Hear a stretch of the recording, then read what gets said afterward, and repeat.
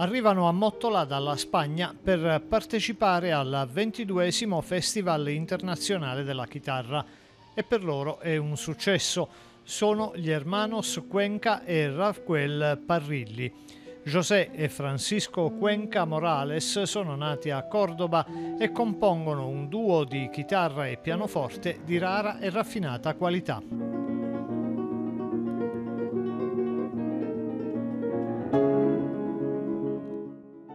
Stati Uniti e Filippine, New York e Valencia, per giungere poi a Mottola, considerata ormai una tappa fondamentale per i chitarristi di tutto il mondo.